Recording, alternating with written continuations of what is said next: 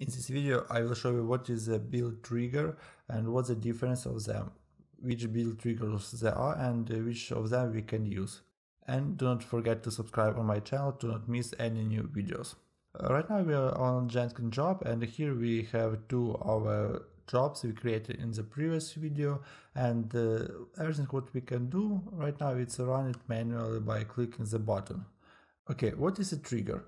A trigger is some kind of event, or we can call it a rule, uh, which uh, we need to follow uh, to run our task, these jobs. For example, uh, what uh, are the most popular types of events? Build triggers. There are a few different types of these triggers. The first one is on-demand run. We already use it when we clicked uh, task manually to run some task.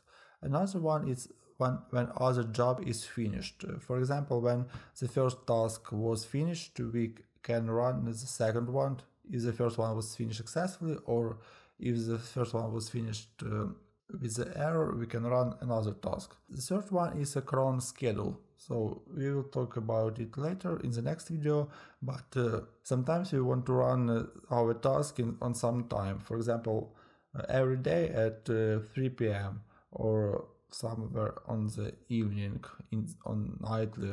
And the last one is uh, source control management. It's uh, when something is happening in our source uh, source control system for example in git or subversion when we push the new commit we can run uh, some new task to build our application from scratch. So let's create uh, our first uh, trigger for second job. Let's open it and uh, configure. Here in build triggers we can see that uh, there are a lot of checkbox for different uh, options. So let's check, check this one. It's um, build after other project are built. And other project is our hello world. We created it previously and uh, it uh, asks to, we can add a couple of these uh, projects in the line separated by comma. But as we have just one, we just remove this comma and space and uh, that's it. And uh, here there are a few options. As i mentioned we can trigger it only if a build is stable if a build is unstable and uh, even if the build fails. In our case we will trigger it when build was stable. Let's click save return to our jenkins and uh, when we will run the first one here we can see in the queue is the second job. Reload our page. We reloaded it and we see that we have new run. Last let's open it. And here we can see that upstream project it's a project which runs this.